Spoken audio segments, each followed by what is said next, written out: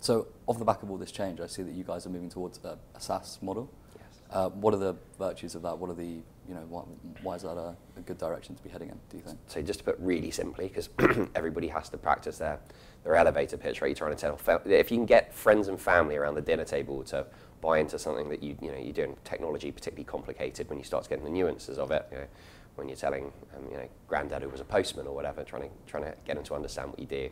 It's this simple. Um, software as a service dramatically uh, d- decreases the amount of time uh, that it takes for us to get going with a client to stand up a project, um, and that has a direct positive effect on reduction in cost for our clients. So we're to do a lot more with the technology faster um, and, uh, and require less financial investment. So, um, so really to drive more returns for, um, for our partners and our clients. It's interesting you say that because I, I remember reading recently uh, Richard Branson, whenever he has a new idea, he, he, he calls it the mum test.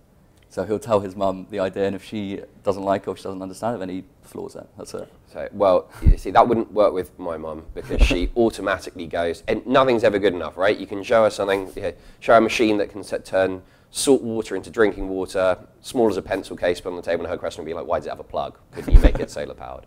Um, no, no, I, I totally buy into that. The, the mum test, the family test, really important.